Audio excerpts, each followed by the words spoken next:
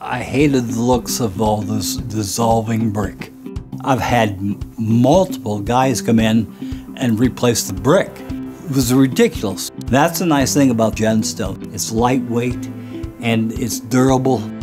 It cuts so easy. Even an old guy like me can do it because you're not toting anything heavy, you're not hauling stuff around. So many projects that you do around the house, you need a permit. With Genstone, you don't have to do that. It's just applied to the existing house. When I started the project, Genstone signed me a, a, project manager and he offered me a lot of insight, what stone to use and what, what to use in this place. So he's been quite helpful. We can all do it. This is not a skilled tradesman job. If you're looking at doing a repair on the outside of your house or just a new look, I recommend Genstone.